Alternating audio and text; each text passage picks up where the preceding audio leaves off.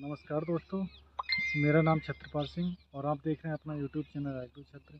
और किसान भाइयों, अगर आप चैनल पहली बार हैं तो चैनल को लाइक करें, सब्सक्राइब करें और कमेंट करें। तो दोस्तों, ये जो वीडियो बनाया गया है, ये जो मिर्च, शिमला मिर्च है, या जो लाल मिर्च, हरी मिर्च जो है, उनमें आने वाले गुमना और थ्रिप्स, मकरी, इनसे कैसे करके निजात पाएँ, कैसे इस समस्या से बचा जाए इससे नुकसान बहुत ज़्यादा होता है और किसान भाई बहुत सारी स्प्रे कर देते हैं। तो किसान भाइयों को नुकसान भी बहुत ज़्यादा होता रहता है।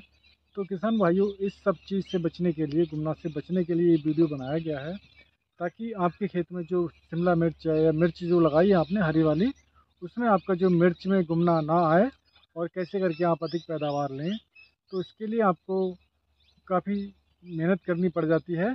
और कई बार स्प्रे करना पड़ता है तो इस सब चीज़ से छुटकारा पाने के लिए ये वीडियो बनाया गया है। किसान भाई अच्छी लगार लगाकर खेत तैयार कर लेते हैं, जिसके कारण उनमें फ़सल नुकसान हो जाता है तो किसान का बहुत ज़्यादा नुकसान का घाटा हो जाता है। इसको अधिक पैदावार कैसे लें और कैसे करके गुमना खेत में ना आए तो उस चीज़ पे बताया गया है। दोस्तों आप ये हरी वाली मिर्च में काले गुमना का फ़ोटो देख रहे हैं, ये वीडियो इसमें काले गुमना ने बिल्कुल अटैक कर रखा है।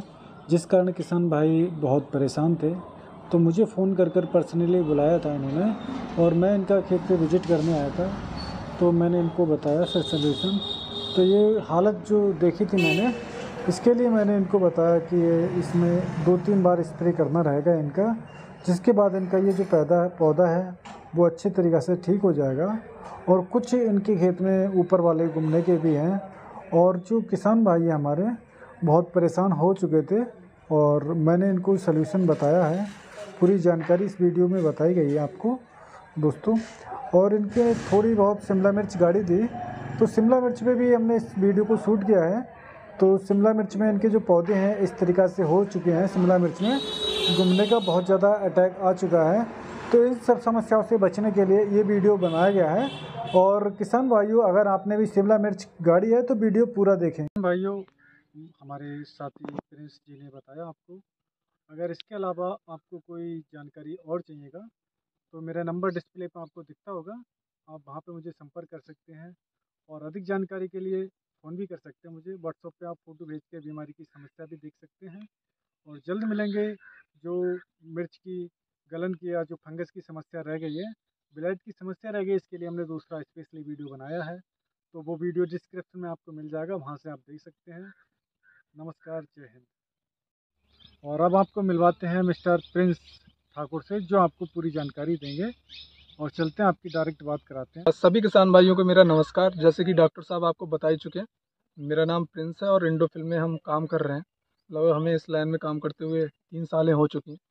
तो मेन टॉपिक हमारा यही कि मिर्च में आने वाली समस्याएँ, रोग तथा उनकी रोकथाम के बारे में आज हम बात करने वाले हैं। तो मिर्च की बात करें तो मिर्च में हमारी सबसे बड़ी समस्याएँ आती पहला आपका वायरस हो गया, एफिड हो गया, जैसिड हो गया, थ्रिप्स हो गया, ठीक है। बाकी आपका मिर्च में डाईबैक हो गया, जो ऊपर से पौधा नीचे की तरफ़ गलता है, डंपिंग ऑफ़ हो गया, ये सारी समस्याएँ हमें मिर्च में देखने को मिलती हैं। तो हम एक एक टॉपिक करके आपको समझाने वाले हैं। मेन टॉपिक हमारा यही रहेगा कि वायरस वाली समस्या से कैसे निजात पाएँ। किसान भाइयों का मुख्य यही रहता है कि डॉक्टर साहब, ये वायरस वाली समस्या कोई दवा हो तो बताएँ तो इसके बारे में हम आज पूरी जानकारी देंगे। तो हम बात करते हैं कि ये जो वायरस है, वो आखिर हमारी मिर्च में, फ़सल में आता कहाँ से? तो वायरस की बात करें तो सबसे बड़ा कारण रहता है मिर्चों में जो वायरस आता है। एक तो हमारा जो पौधे होते हैं, उस पर थ्रिप्स का अटैक जब बढ़ता है तो पौधा हमारा कटोरे टाइप का होने जाता है, यानी कि ऊपर की तरफ़ मुड़ जाता है। तो जिसमें क्या होता है, हम आसानी से पहचान सकते हैं कि हमारे खेत में थ्रिप्स का अटैक हो रहा है। ठीक है तो इसमें क्या है थ्रिप्स जब अटैक करता है तो हमारा पौधा वायरस के रूप में बदलने लगता है। तो इससे रोकथाम के लिए हम बात करेंगे। पहले हम इसे पूरा जानते हैं। तो इसमें क्या है, एक तो जब ये वायरस बढ़ता है तो इसमें मेन कारण रहता है हमारा वाइट फ्लाई हो गया एफिड हो गया जेसिड हो गया। ये सब क्या करते हैं, इन्हें फैलाने का काम करता है। और ये वायरस मुख्यतः हवा से भी फैलता है, हमारे हाथों के थ्रू भी। जब हम रोगग्रस्त पौधे से स्वस्थ पौधे को छूते हैं तो ये पौधा की तरफ़ फैलने लगता है। ठीक है तो इसे रोकने का क्या है, एक तो मेन सबसे बड़ी बात कहूँगा कि जो रोगग्रस्त पौधे उन्हें हम खेतों से निकाल दें। पहला। दूसरा क्या है, आप इसमें मेन चीज़, आप वाइट फ्लाई हो गया एफिड जैसिड हो गया, इनकी रोकथाम के लिए आप दवाइयों का उपयोग करें। इनसे क्या होगा, आपके खेत में जब ये कीट नहीं आएँगे तो आपका जो वायरस वाली समस्या है, वो नहीं बढ़ेगी। ये तो रहा मेन आपका वायरस के लिए बात करें। दूसरा आपका, इसमें क्या है, आपकी समस्या आती है कि साहब डंपिंग ऑफ़ आ रहा है, ऊपर से पौधा नीचे की तरफ़ गल रहा है। तो इसमें क्या होता है, जब मौसम अप डाउन होता है गर्मी, सर्दी का मौसम बनता है तो उस समय आप देखते हो जब आर्द्रता ज़्यादा बढ़ती है, तब ये डंपिंग ऑफ़ आता आता है। तो इन समस्याएँ हैं, ये बहुत सारी समस्याएँ हैं। तो एक एक करके हम बताते हैं। जैसे वायरस के लिए मुख्यतः कोई स्पेशल दवा नहीं बनी है, जो किसान भाई कहते हैं कि ये लगाओ, वो लगाओ। तो इसके लिए कुछ दवाइयाँ हैं, जैसे वाइट फ्लाई कंट्रोल है वाइट फ्लाई के लिए हो गया आपका। माइट के लिए हो गया। तो इसमें आप बात करें तो इंडोफिल का दम्मू नाम से आता है। वो आपका क्या है? वाइट फ्लाई को भी कंट्रोल करेगा और आपका माइट को भी कंट्रोल करेगा, जैसिड को भी कंट्रोल करता है। तो इसका क्या रहता है? ये किसान भाई आप खेतों में यूज़ कर सकते हो। तो इसमें आपको डोज की बात करें तो ये दो एम पर लीटर के हिसाब से आप मिर्च में स्प्रे कर सकते हो। साथ में अगर आप डालना चाहते हो तो आप फंजीसाइड भी इसके साथ में यूज़ कर सकते हो। दूसरा आपका और कोई समस्या रहे, इसमें आप थ्रिप्स के लिए आप फिप्रोनिल एस किसी भी कंपनी का पाँच परसेंट में आता है, वो यूज़ कर सकते हो। दूसरा आपका डायनासोर नाम से आता है, जिसमें टोल टोलफेन पेराइड होता है, भारत कंपनी का आता है, जो आपका थ्रिप्स पे बढ़िया काम करता है।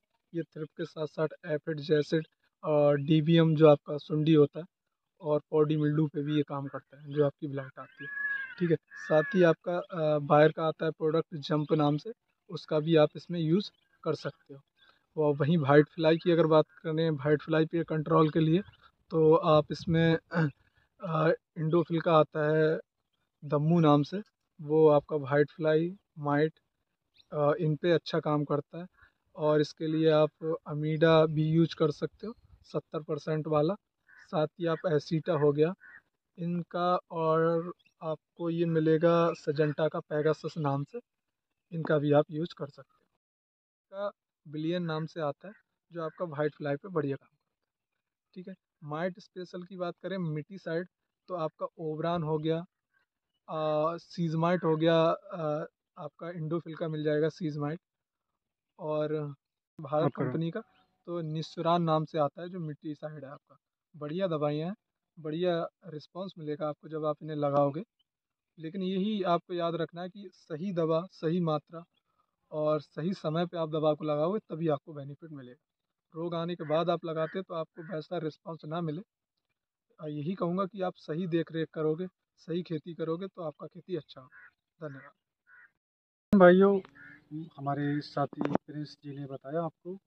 अगर इसके अलावा आपको कोई जानकारी और चाहिएगा तो मेरा नंबर डिस्प्ले पर आपको दिखता होगा। आप वहाँ पे मुझे संपर्क कर सकते हैं। और अधिक जानकारी के लिए फ़ोन भी कर सकते हैं मुझे। व्हाट्सअप पे आप फ़ोटो भेज के बीमारी की समस्या भी देख सकते हैं। और जल्द मिलेंगे जो मिर्च की, गलन की या जो फंगस की समस्या रह गई है, ब्लड की समस्या रह गई, इसके लिए हमने दूसरा स्पेशली वीडियो बनाया है। तो वो वीडियो डिस्क्रिप्शन में आपको मिल जाएगा, वहाँ से आप देख सकते हैं। नमस्कार, जय हिंद।